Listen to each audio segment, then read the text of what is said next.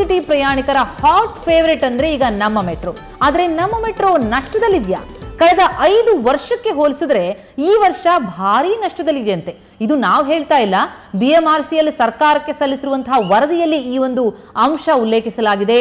ಈ ಮೂಲಕ ನೌಕರರ ಸಂಬಳವನ್ನು ಹೆಚ್ಚಿಸಲಿಕ್ಕೆ ಸಾಧ್ಯ ಇಲ್ಲ ಅನ್ನೋ ಸಂದೇಶವನ್ನ ರವಾನಿಸೋದು ವರದಿಯ ಉದ್ದೇಶನಾ ಅನ್ನುವಂತಹ ಅನುಮಾನ ಕಾಡ್ತಾ ಇದೆ. ಮೆಟ್ರೋ ಆಡಳಿತ ಮಂಡಳಿ ಸರ್ಕಾರಕ್ಕೆ ತನ್ನ ಆರ್ಥಿಕ ಸ್ಥಿತಿಗತಿ ಬಗ್ಗೆ ವರದಿಯೊಂದನ್ನು ಸಲ್ಲಿಸಿದೆ. ಆ ವರದಿಯಲ್ಲಿ ಮೆಟ್ರೋ ನಿಗಮ ಐನೂರ ಮೂವತ್ತೆಂಟು ಪಾಯಿಂಟ್ ಸೊನ್ನೆ ಐದು ಕೋಟಿಯಷ್ಟು ನಷ್ಟದಲ್ಲಿದೆ ಅಂತ ಉಲ್ಲೇಖಿಸಲಾಗಿದೆ. ಈ ಮೂಲಕ ನಷ್ಟದಲ್ಲಿರುವ ಸಂಸ್ಥೆಯಲ್ಲಿ ನೌಕರರ ಸಂಬಳ ಹೆಚ್ಚಿಸಲಿಕ್ಕೆ ಹೇಗೆ ಸಾಧ್ಯ ಅನ್ನೋದನ್ನ ಸರ್ಕಾರಕ್ಕೆ ಮನವರಿಕೆ ಮಾಡಿಕೊಟ್ಟಂತಾಗಿದೆ. ಇದರೊಂದಿಗೆ ನೌಕರರಿಗೂ ಕೂಡ ಸಂಬಳ ಹೆಚ್ಚಳ ಸಾಧ್ಯ ಇಲ್ಲ ಅನ್ನೋ ಸಂತೋಷವನ್ನ ಸಾರದಂತಾಗಿದೆ. ಪ್ರತಿದಿನ ನಾಲ್ಕು ಲಕ್ಷ ಪ್ರಯಾಣಿಕರು ಪ್ರಯಾಣಿಸುವಂತಹ ನಮ್ಮ ಮೆಟ್ರೋ. ಎರಡ್ ಸಾವಿರದ ಹದಿನಾಲ್ಕರಲ್ಲಿ ಎಂಬತ್ಮೂರು ಪಾಯಿಂಟ್ ಒಂದು ಐದು ಕೋಟಿ ನಷ್ಟ ಅನುಭವಿಸಿದೆಯಂತೆ ಈ ವರ್ಷ ಐನೂರ ಮೂವತ್ತೆಂಟು ಪಾಯಿಂಟ್ ಸೊನ್ನೆ ಐದು ಕೋಟಿಯಷ್ಟು ನಷ್ಟ ಹೆಚ್ಚಳವಾಗಿದೆ ಅಂತ ಹೇಳಲಾಗ್ತಾ ಇದೆ. ಇದು ಈಗ ಸಂಬಳ ಹೆಚ್ಚಲಿಕ್ಕೆ ಸಾಧ್ಯ ಇಲ್ಲ ಅನ್ನುವಂಥಕ್ಕೆ ಇಂಥದ್ದೊಂದು ಸಂದೇಶವನ್ನ ರವಾನಿಸಲಾಗಿದೆಯಾ ಅನ್ನೋದು ಗುಮಾನಿ.